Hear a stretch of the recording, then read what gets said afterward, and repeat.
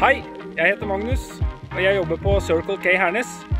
Området rundt her det er fullt av opplevelser for hele familien, og nå tenkte jeg skulle ta dem en eh, runde rundt og vise deg noen av mine favoritter.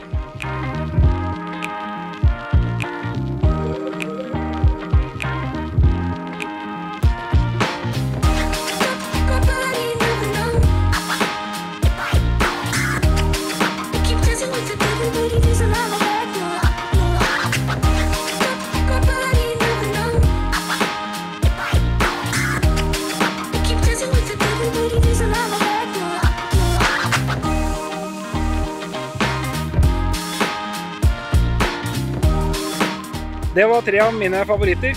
Husk at eh, vi er lokalkjent, så kom gjerne innom her på Circle Kærnes og spør oss om råd.